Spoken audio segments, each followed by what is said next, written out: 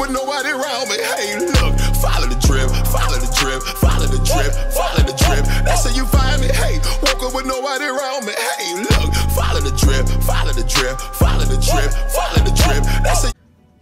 Hey yo, so I'm watching Halloween Ends right now. I was gonna wait to go to the movie theaters to watch this, but I'm like, it's already on Peacock, so I might as well just watch it from here. But yo, I'm just watching the first scene of this. That already took an unexpected turn. I'm not gonna say what happened because I'm pretty sure there's a lot of people who haven't seen it yet, probably don't want to see it, or probably are waiting to see it. So, wait, if they don't want to see it, then that wouldn't make sense. But anyway, regardless of the fact, that was unexpected. I didn't, I didn't expect that. But uh, let let's see what happens throughout the rest of this movie, and uh, I'll give you guys my rating on it. All right, y'all. So the movie just ended. Um, I don't know what's to rate, y'all. I ain't gonna lie to you. Um,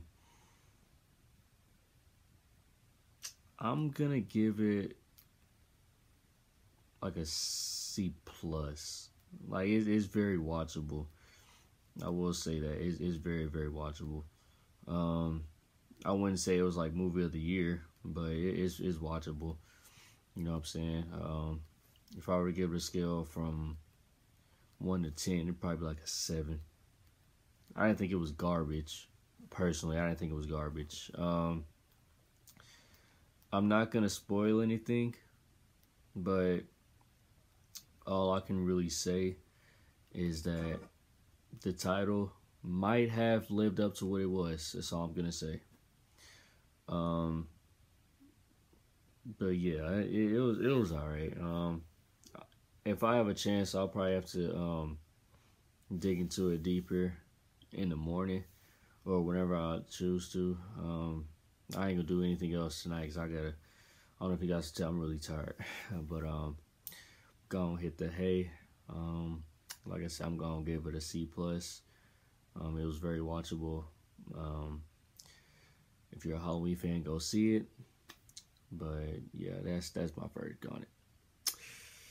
So uh, yeah, I'm gonna end it there, and um, see you guys later.